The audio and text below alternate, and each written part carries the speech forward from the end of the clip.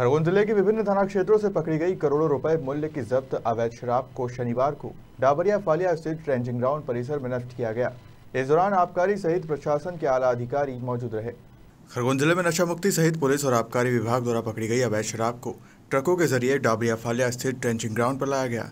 यहाँ मौजूद अफसरों का इशारा मिलते ही रोलर ने शराब की बोतलों को चकनाचूर कर दिया।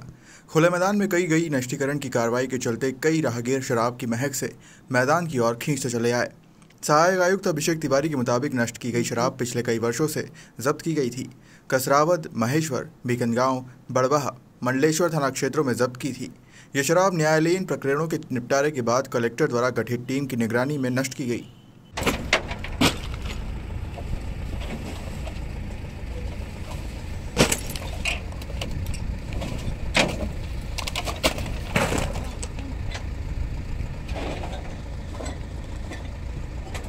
खरगोन ज़िले में आबकारी और पुलिस के कुल चार सौ तिरपन प्रकरण ऐसे जो कि 15 से 18 वर्ष पुराने हैं, न्यायालय में जिनका निर्णय हो चुका है और अपील अवधि बीत चुकी है, ऐसे प्रकरणों का कलेक्टर महोदय द्वारा गठित समिति के सामने।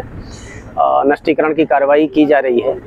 और इनमें लगभग चार सौ तिरपन प्रकरण हैं और तैंतीस हज़ार के लगभग मदिरा है लीटर मदिरा है और जिसका बाज़ार मूल्य आज की तारीख में नब्बे लाख रुपए के लगभग है उनका नष्टीकरण यहाँ पे किया जा रहा है। कहाँ कहाँ से?